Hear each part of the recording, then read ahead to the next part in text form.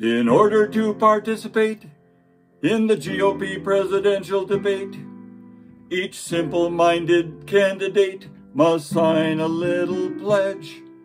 To once the candidate gets chosen, they'll shut their mouth and hold their nose and back that candidate completely and speak of them only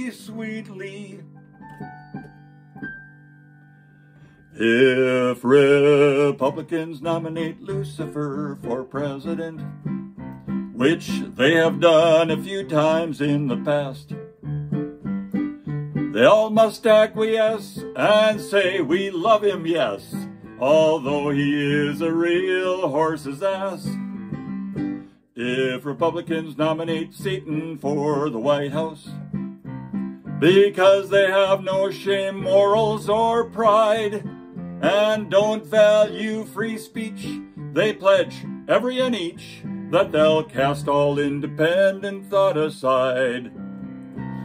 Though this may sound both brainless and hypocritical, from GOPers, it's what we expect. Their candidate may really be dumb shitical, but who are they to comment or reject? If Republicans name Beelzebub as their leader, they'll politely wring their hands and gnash their teeth and just sigh and say, oh well, while marching off to hell, cause there's little in this world they're not beneath.